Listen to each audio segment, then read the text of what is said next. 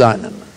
අද ස්වාමීන් වහන්සේගේ දර්ශනය ලැබුණේ අපි පාද තබනකොට ස්වාමින් වහන්සේ පොඩි නිකං රවුම් පොඩි නීල මානික්‍යමය පලසක් වගේ නිල් පාට පොඩි පලසක් අපේ පාදයට තිබ්බම ඒ පාදේ තබන තබන තැන තිබෙන කට්ටු මුල් ගල් පහ වෙලා ඒ අපේ පාදෙට හොඳ තැනක් වෙනවා.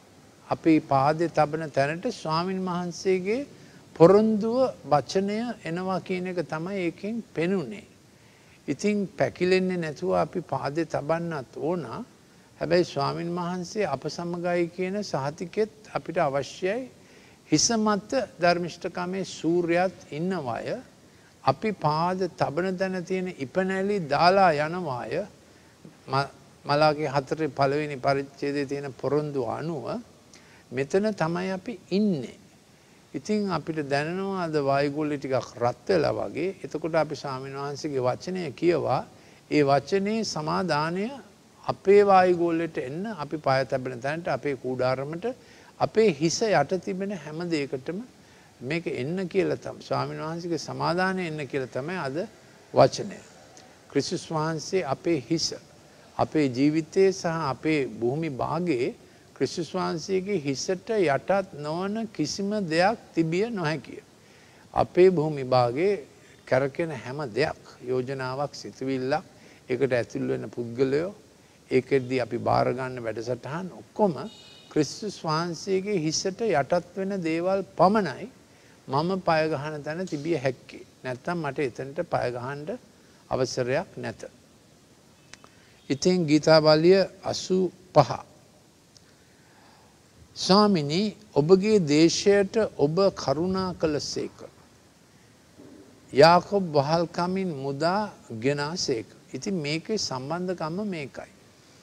දේශයක් කරුණාවෙන් පිරෙන්න යාකොබ් දෙවන් වහන්සේගේ සැනග පූර්ණ කැඳවීමට එන්න ඕන වහල්කම් තියාගෙන හරියන්නේ නෑ. එතකොට දෙවන් වහන්සේගේ සෙනග වහල්කම් තියාගෙන හිටියොත් දේශයට කරුණාවෙන්නෙත් නෑ. ඔබගේ සෙනගේ අයිතුකම් කමා කළසේක ඔවුන්ගේ පෞසිියල්ල වැසුසේක ඔබගේ මුළු දහස පහකර දැමුසේක ඉතින් ස්වාමින් අපේ ගැලීමේ දැන් වහන්ස අප හැරව්ව මැනව අප කෙරෙහිබූ ඔබගේ කෝපය නැවැත්වූ මැනව ඉතින් ඒක තමයි අපේ ආග්ඥාව අපි හැරුණු කල ස්වාමින් වහන්සේගේ කරුණාව දේශයට එනවා. එහෙම තමයි දේශයක් සුවවෙන්නේ. ඉතිං හත්වනි පදේ ස්වාමිනි ඔබගේ කරුණාව අපට දැක්වුව මැනව ඔබගේ ගැලීම අපට දුන මැනව ඉතිං අපේ දේශයට අමාරුයි අපේ සාධක අමාරුයි අපිට මුණ පාන්නේනව අමාරුයි කියනකොට අපි මේ දේව පදේ ආපහු ආපහු කියවනවා මොකද අපි කියවපු දේව පදය තෙල් ටිකක් වගේ ගලාගෙන යනවා අපේ ආත්මටත් ඇතුල් වෙනවා බීජයක් වගේ අපි ඒක බපුරනවා වතුර ටිකක් දැම්ම වගේ උල්පතක් හැදෙනවා. ඉතින් අපි හැමතිස්සම ඒ දේ පදය ආවර්ජනය කරන ඒ ගැන අක්ඥා කරනවා ඊට අදාළ තවදය පදයක් කතා කරනවා. මේ දේවපදය අපි විශ්වාස කරනවා අද පැවිසි හතරක් පුරා. දැන් දවල් දොළහත් පහුවල පෑ දොළහක් විතර තමයි තියෙන්නේ. අද ඉවර වෙන්න අද ඒ පෑදොළහත් තුළම මේ දේව පදය තෙල්මෙන් මේ දේශය සුව කරන්න කියලා අපි ඉල්ලා සිටින අපිට වෙන වෙන මොකක්ද අපේ බලාපොරොත්තු නේද ස්වාමීන් වහන්සේ සමඟ අපි කතා කරන වචනය. අපි උන්වහන්සේගේ වචනය කතා කරනකොට උන්වහන්සේ අහන් ඉන්නවා උන්වහන්සේ ආමෙන් කියනවා. එතකොට දේවදූතයෝ ඒ වචනය අරගෙන ක්‍රියාත්මක වෙන්න පටන් ගන්නවා. දෙවන් වහන්සේගේ වචනය හඬ දේවදූතයන්ට ආග්ඥාවක්. අපි ආත්මයෙන් පිරී විශේෂයෙන්ම භාර්යාවසා පුරුෂයා උදහෙම්ම දේවචනය මෙලෙස එකඟව කියන කල ඔවුන්ගේ කුඩාරමට අයිති දෙවදූතිය ඔක්කෝම ක්‍රියාත්මක වෙන්න පටන් ගන්න.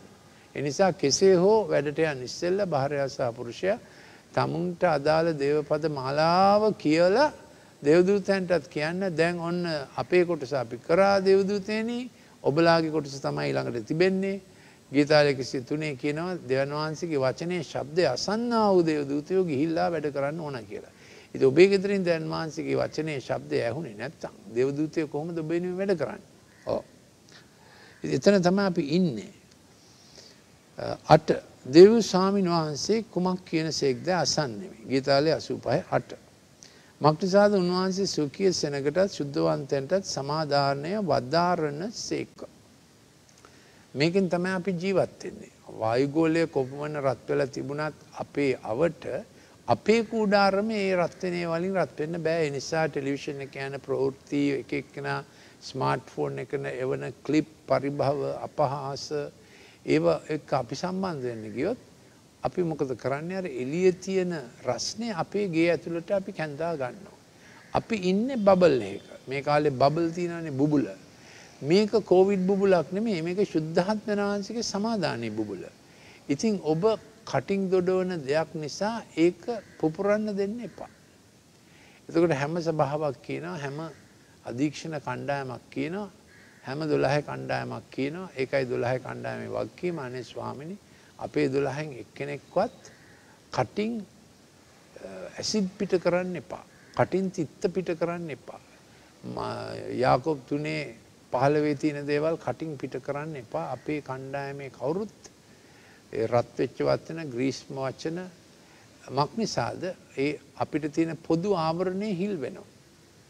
අපේ ආවරණය හිල්ලුනොත් වටපිටාවෙ තියෙන බලවේග දුෂ්ටයන්ගේ මන්ත්‍රණ පෞකාරයන්ගේ මාර්ග නින්දා කරන්නන්ගේ ආසනවල වචන අපිට වදින්න පටන්ගන්න. අපි බලන්න කොහෙන්ද මේ වදින්න. අපි එක්කෙනෙක් ගිල්ල වැඩේ සෞතු කරගන්න. ඒක නිසයි අපි සභාවේ සාමූහික ජීවිතයක් තිබෙන්නේ සභාවේ සහභාගිකමක් තිබෙන්නේ.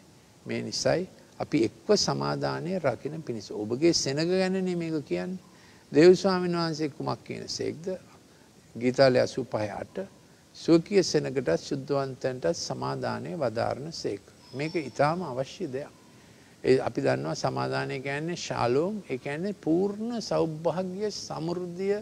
දෙවන් වහන්සේට තිබෙන උපරිමය උන්වහන්සේ වධාරණ කල අපි ඒක පිළිගන්න සූදානම් වෙනවා. සූදානමෙන්ම ඉන්නවා හැම පෑම. නමුත් ඔහු අඥ්ඥානකමට නැවත නොහැරෙත්වා. තේජස අපේ දේශයේ වසන පිණිස සැබවෙන්ම උන්වහන්සේගේ ගැලවීම උන්වහන්සේට භයවන්නන් සමීපයෙහිය. ඉතිං ස්වාමිනි මේක අපේ අඥ්ඥාව දෙවන් වහන්සේගේ සෙනග ස්වාමින් වහන්සේ කරේ දක්වන ගරුබිය නිසා ස්වාමින් වහන්සේගේ සියලු ගැලවීමේ මාර්ග සහ යෝජනා ඔවුන් අතරේ වේවා. දහය. කරුණාවත් සැබෑකමත් සම්මුඛ වූ සම්මුඛ වූය. කරුණාවත් සැබෑකමත් සම්මුඛ වූය. සැබෑකම අපි තුළ කරුණාව ස්වාමින්ගෙන් ධර්මිෂ්ඨකමත් සමාධානයත් ඔවුනුන් සිපගත්තුවය එගොල හොඳ මිත්‍රය වුණා. සැබෑකම පොළොවෙන් හටගනි.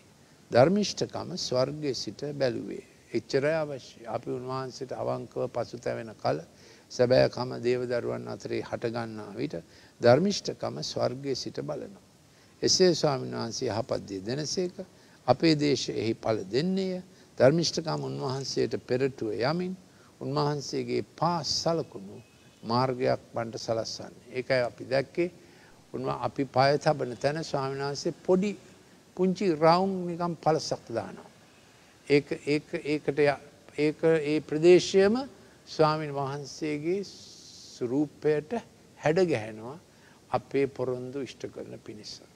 අපි මේ පදය අද දවසේ දහසරයක්වත් කියවමු ගීතාලය අසුපහ දේශයේ රස්නය තරහව ග්‍රීෂ්මය කලකිරීම වියවුල පහවෙන්න පහවෙන්න පහවෙන්න කියලා අපි ඉල්ලා සිටිමු ස්වාමින් වහන්සේ අපිට ආශිර්වාද කරන शेख बाप